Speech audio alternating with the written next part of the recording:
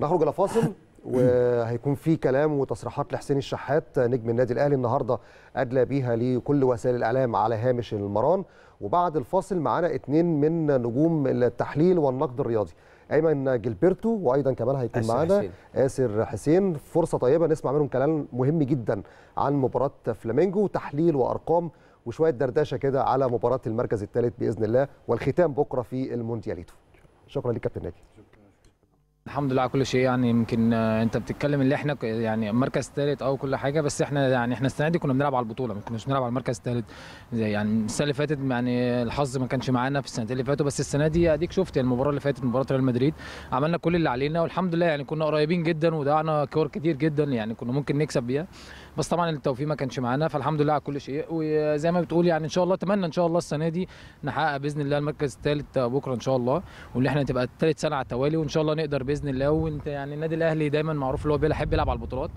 فإن شاء الله نقدر نحقق ميدالية السنة دي بإذن الله وتبقى حاجة تاريخية لينا إن شاء الله. إن شاء الله كلنا جاهزين إن شاء الله وكله إن شاء الله يعني بيلعب على الميدالية زي ما بقول لك وكل اللعيبة مركزة وكله عايز يعمل كده.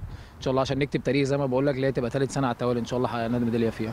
والله طبعا يعني انت يعني أنت زي ما بتقول يعني في لعيبة كتير موهوبة يعني مش بتكلم أنا عن نفسي مثلا أو بتكلم عن لا في لعيبة كتير موهوبة في الوطن العربي كتير جدا مش في مصر مثلا ولا لا في السعودية وفي الإمارات وفي, وفي دول كتير جدا يعني موجودة وفي قطر يعني لعيبة كتير وعلى أعلى مستوى ودينا شايفين محمد صلاح ومحرز وزياش لعيبة كتير وزياش وحكيمي اللعيبة دي كلها كلها موجودة وكلها متألقة في الدوريات العالم كلها فطبعا دي حاجة كبيرة. فأنت كل لعيب بيفرق الشخصية عن نفسه فاللي بيبقى مركز واللي بيبقى محضر والحاجات دي كلها بتفرق طبعا. يعني أنت ما بتبقى نازل مباراة وبتبقى عارف ان أنت هتلعب مع فريق كبير وبتبقى مركز فأكيد بتبقى ان أنت عايز تعمل مباراة كبيرة. فدي الحمد لله يعني أنا كنت مركز أنا واللعيبة كلها اللي إحنا نعمل حاجة والحمد لله قدرنا ان إحنا نعمل كده. يعني الحمد لله مش أنا بس يعني.